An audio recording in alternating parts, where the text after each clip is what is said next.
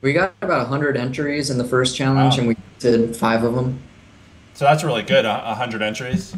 Yeah. And was that a lot just posting in the community that you're already a part of?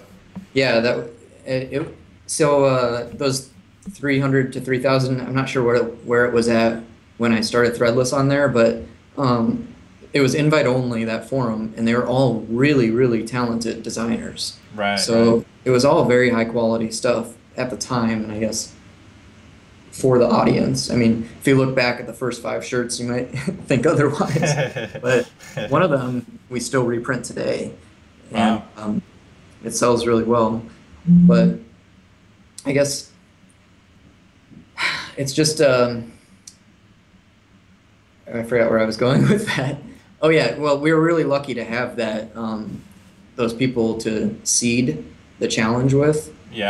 yeah. Um, as soon as it like after that first challenge, that's when it moved to Threadless, and that's where you submitted designs. It wasn't additional threads on the forum. Um, so then it became not just those those 300 people. It was also just anybody could come and submit.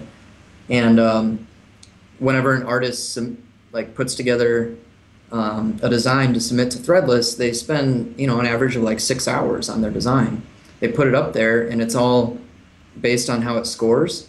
So they, you know, they have a strong interest in telling everybody they know to go vote on it. Some of those people end up submitting designs too, and you know, it's been 10 years, so it's not like our growth was immediately, but there was a very strong snowballing um, that that's happened uh, of new people getting on, like a very organic growth early on.